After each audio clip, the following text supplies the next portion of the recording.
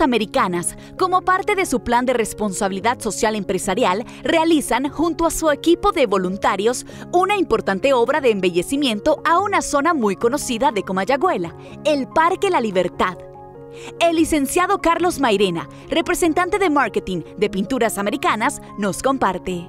Muy contentos nuevamente de poder estar contribuyendo con lo que es Honduras y poniéndola más bonita, más bella y tratando de rescatar esos espacios públicos que tal vez han quedado un poquito olvidados, pero que son un lugar en donde pueden venir en familia, un lugar de esparcimiento y en esta oportunidad en el Parque La Libertad aquí en Comayagüela.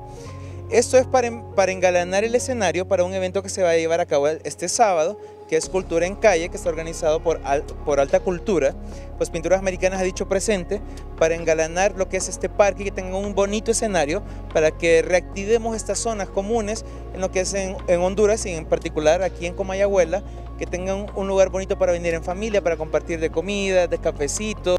Les invitamos a que visite las diferentes tiendas de pinturas americanas para que aproveche su promoción 6x1. Bueno, los invitamos a que aprovechen los últimos días de nuestra promoción del 6x1 para que te pintes. Tienen la oportunidad aún de adquirir una cubeta de nuestra línea promocional y por un lempira se llevan hasta 6 galones gratis. O también si no tienen mucha área para pintar, compran dos galones, se llevan el tercero eh, por un lempira. Y es eso, brindándoles una amplia gama de colores que seguramente les va a encantar para pintar sus eh, salas, dormitorios, sus casas, sus negocios comerciales, ¿por qué no? Y aún aprovechan estos últimos días del 6x1 que tenemos buenísimo en cualquier tienda de pinturas americanas. Con apoyo de mi compañera Nirvana Velázquez, Manuel Rojas en cámara y Farid Barahona en edición, para HCH Noticias, Stephanie Rivera.